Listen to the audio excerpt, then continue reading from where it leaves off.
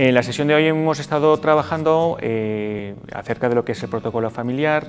eh, los pactos de socios. A través de varios casos prácticos eh, hemos estado viendo la incorporación de, familiares a la empresa, temas de sucesión, temas de venta de la compañía, división en distintas partes de la compañía,